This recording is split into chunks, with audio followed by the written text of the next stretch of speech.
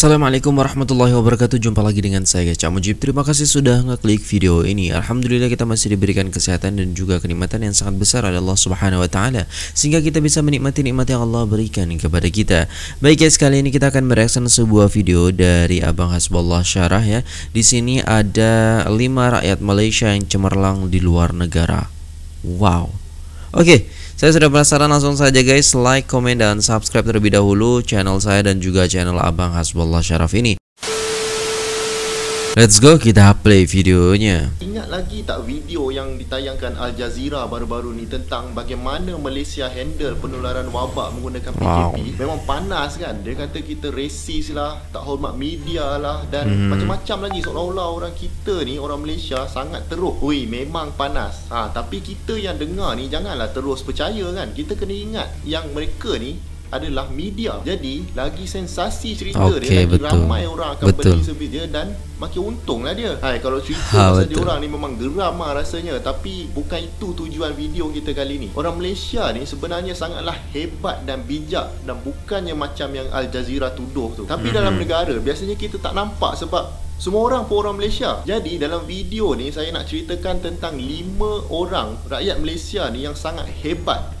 dan membanggakan Malaysia di mata okay. dunia. Cuma kadang-kadang kita tak sedar mereka ni wujud sebab bak kata pepatah ikutkan resmi padi makin berisi makin tunduk. Mereka Betul. ni juga merupakan bukti bahawa Malaysia walaupun ini negara kecil juga tetap hebat dan setanding dengan negara lain. Bahkan ada antara mereka ni orang di negara tu sendiri pun berebut jawatan yang sama tapi orang kita juga yang dapat. Ha, mari kita tengok. Okey, okay. tokoh yang pertama sekali saya nak ceritakan kepada anda adalah Datuk Dr. Afifi Al-Akiti. Dr. Afifi berasal dari Batu Gajah, Perak. Mm-hmm. Beliau ni adalah seorang rakyat Malaysia yang pertama dapat menjadi pensyarah di University of Oxford di UK.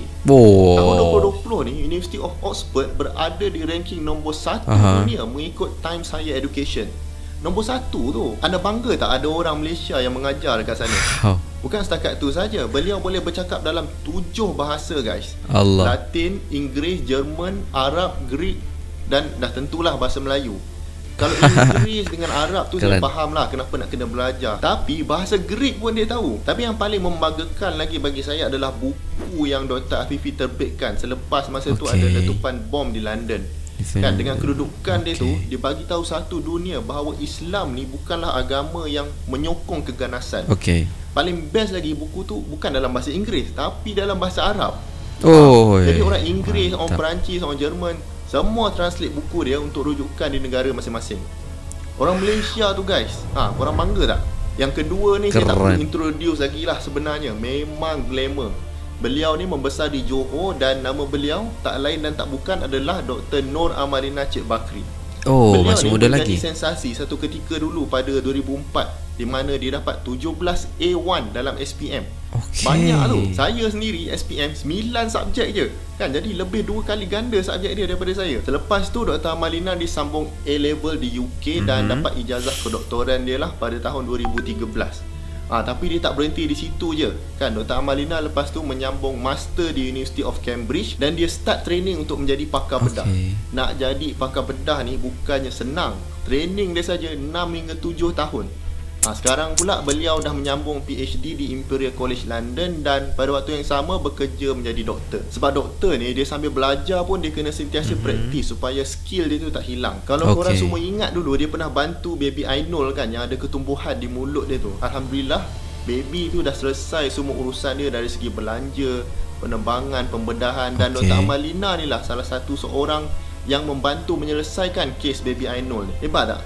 Buat PhD sambil kerja dekat hospital wow. sambil tolong orang Malaysia lagi kan macam ni lah kalau orang tak kata Malaysia hebat tak tahulah nak cakap macam mana betul tokoh kita yang berikutnya pula berasal dari Batu Pahat Johor dan hey, beliau Johor adalah lagi. Dr. Masliza Mahmud Oi, kalau tadi Dr. Lagi. Afifi adalah rakyat Malaysia yang pertama menjadi pensyarah di Oxford Dr. Mas Liza pula adalah wanita Malaysia yang pertama menjadi Profesor Madya di universiti tersebut. Memang selepas berita ni keluar, beliau kata beliau bukanlah orang Malaysia yang pertama pegang jawatan tersebut. Okay. Tapi bagi saya lah kan, pertama ke kedua ke bukan isu Aha, sebab betul. nak jadi Profesor Madya ni memang susah. Dekat Universiti Awam Malaysia ni pun memang sangat susah nak kena publish paper, nak kena tulis buku, kena mengajar, macam-macam lagi, kena dapatkan grant. Ya yeah, Kan, betul. jadi bayangkan dekat sana tu universiti nombor satu di dunia.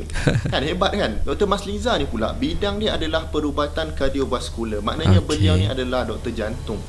Nak jadi doktor dalam bidang kepakaran macam jantung ni perlu ada master dan PhD dan tambah Ya, lagi dengan semua. bertahun-tahun training.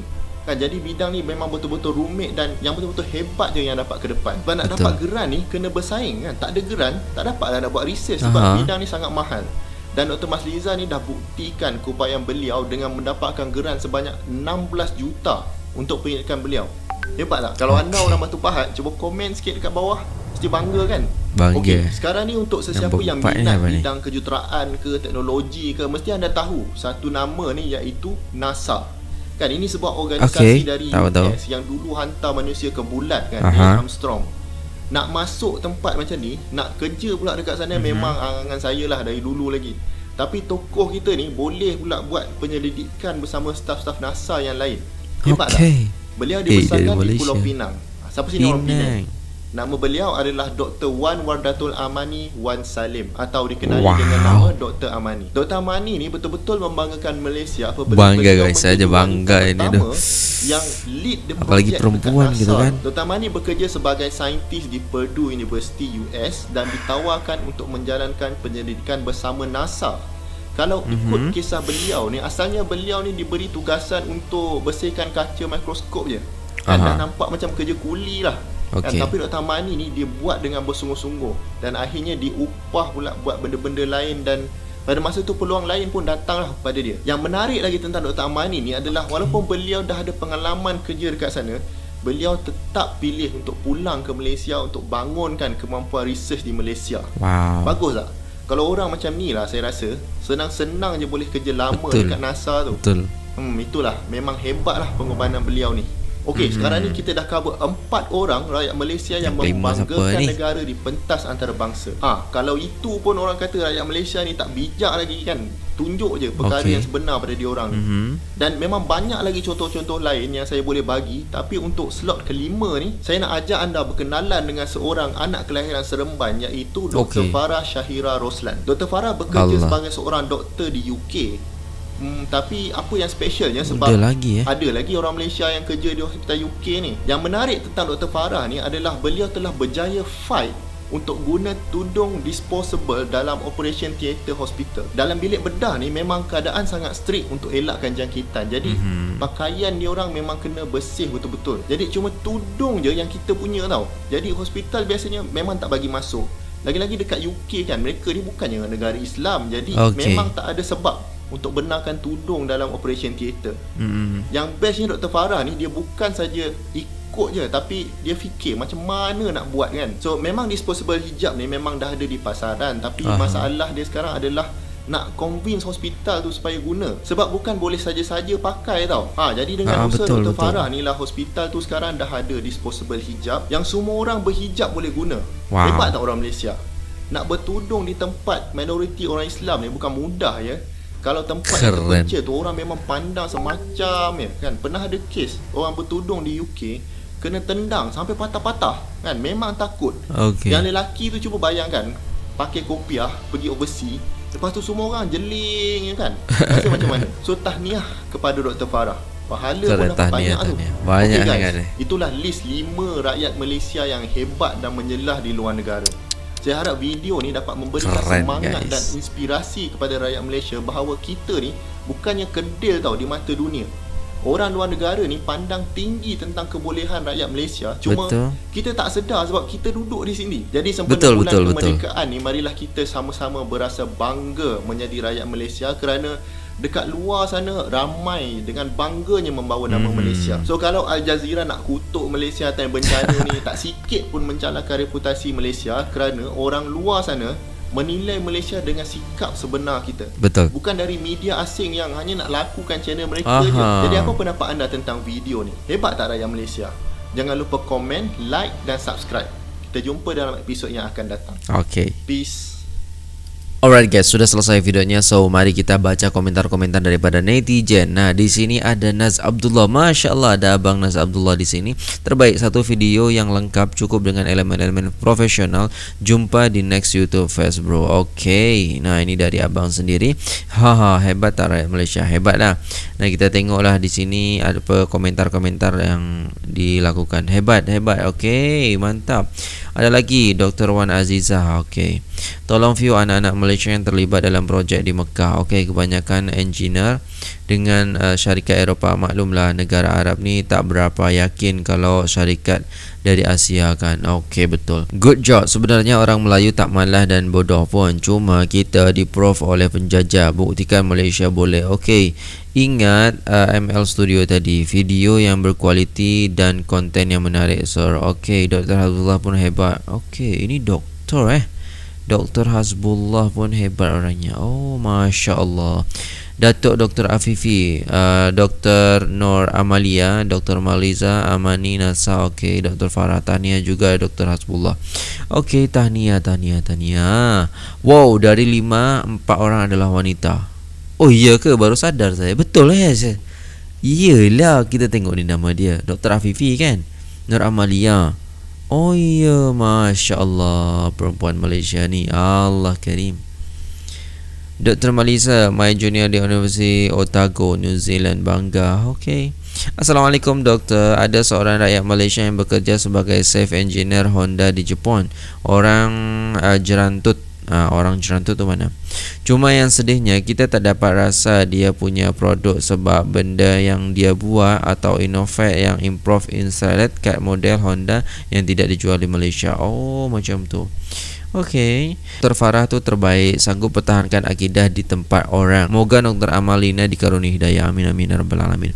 Okey guys, itulah tadi komentar daripada netizen dan ya kalau menurut saya di sini so amazing, so keren banget karena kenapa tidak semua orang bisa seperti itu dan kita patut bangga kepada orang-orang yang seperti ini karena mereka giat dan gigih untuk belajar ya kadang kita iri gitu kan.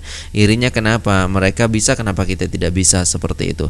Nah iri dalam hal segi kebaikan itu boleh saja guys. Istilahnya kita adalah uh, berlomba-lomba dalam kebaikan itu boleh-boleh saja. Kita iri kepada seseorang yang ilmunya tinggi lalu itu menjadi penyemangat bagi kita untuk senantiasa belajar lebih giat lagi. Seperti itu itu boleh nggak apa-apa. Dan so ini keren banget. Ternyata ya. Ya kalau tidak dikongsi oleh Dr. Hasbullah ini maka kita tidak akan tahu guys apa istilahnya yang dilakukan oleh rakyat-rakyat Malaysia ataupun rakyat-rakyat yang memang gemilang di Malaysia seperti itu dan wow keren banget Puh. Oke, okay. ya mungkin cukup itu saja reaction kali ini. Semoga bermanfaat, semoga menambah wawasan kita dan menum dan menumbuhkan semangat kita untuk senantiasa belajar, untuk senantiasa menjadi yang terbaik, untuk senantiasa melakukan yang terbaik. Tetap jaga akidah kita, jaga keimanan kita, kuatkan iman kita, dan jangan sampai kita itu goyah dengan godaan-godaan syaitan. Oke, okay, terima kasih. Saya pemimpin untuk diri apabila ada salah kata mohon dimaafkan. Wassalamualaikum warahmatullahi wabarakatuh.